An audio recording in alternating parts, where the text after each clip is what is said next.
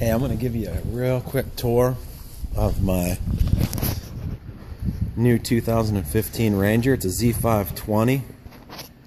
Usually I get a 21, but based on the schedule and the tournaments I have this year, um, I decided to go with a little bit smaller boat. Um, 250 Pro XS, that's the motor I've been using for, this is the fourth year now, and um, haven't had too many issues with it, so I keep on using it. 10 foot blades ever since they came out. That's what I use. A little bit new feet. Uh, one of the new features on it is watch when these go up. It actually has a buffer where they slow down right at the end and don't slap shut. Super, super, super quiet. But the 10 foot blades are a must. If you're going to get power poles, get the biggest ones. It seems like you're always in eight and a half feet of water when you put them down. So back of the Ranger, you know, I got the, the plug for the power cord, real easy to access from outside the boat.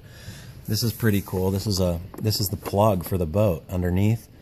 So right now it's closed. If you accidentally leave it open, all you got to do is flip that switch instead of going swimming. Pretty cool. Um, I always get the remote oil fill so it's easy to access. And there's the oil tank. Jump box. I've only had to use it, I think, twice in 12 years. Um, Vic Vatalaro used to install these in my boat and his boat um, before Ranger started doing it. Now they do it. So if my cranking battery should die, which it rarely does, I can jump start off of my trolling motor batteries. I'm using AGMs, top of the line, you know, just to make sure that uh, you know, my batteries never run down. These come right from Ranger. They're great. This is the third year I've used them. Now, this is the fourth year that I'll be using them. And I haven't ever had a battery die. I used to use Sears diehards for the last, I don't know, probably seven or eight years in a row.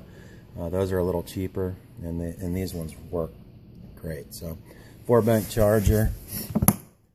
Uh, there's my push pole. Hooked up with the guys at Rod Glove this year.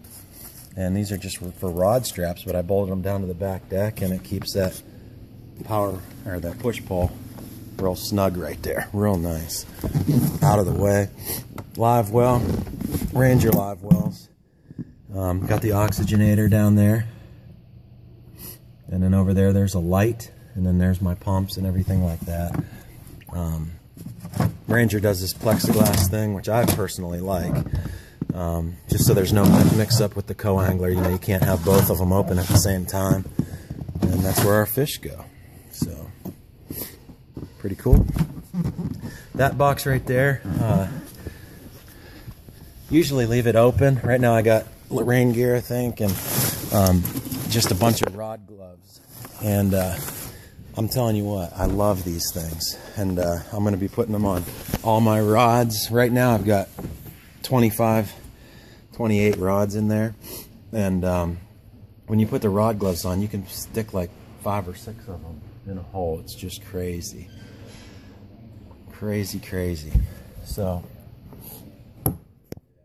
I'll give you the rest of the boat, front deck, and the console in part two.